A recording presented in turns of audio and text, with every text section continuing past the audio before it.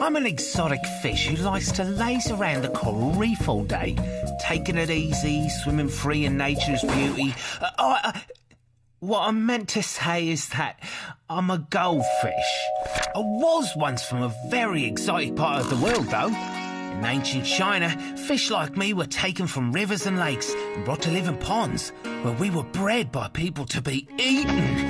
Thankfully, now people have decided to keep us as pets in their homes, because we're so pretty to look at and easy to keep.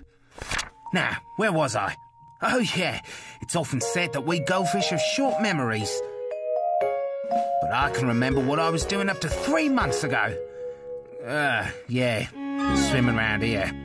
You might be surprised to learn that goldfish never blink. You should try it. It's not as easy as you think.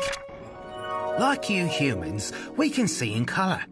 This is unusual for a fish because most just see in black and white. We like to live in much bigger spaces than the small fish bowls and tanks that some people keep us in.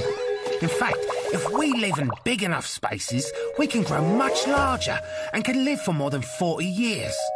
Sunlight helps to make our beautiful colours as bright as they are. If we didn't see any sunlight, our colours would fade away to almost grey. People think that we like to be on our own, but we actually like to have lots of friends around. Isn't that right, lads?